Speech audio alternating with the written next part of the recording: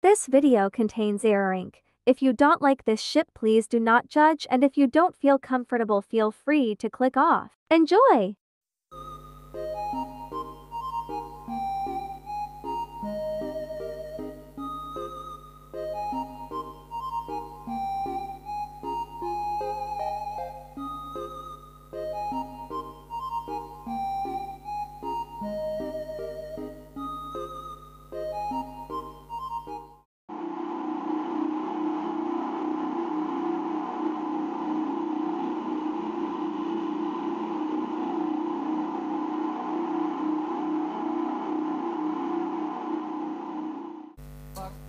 I'm out.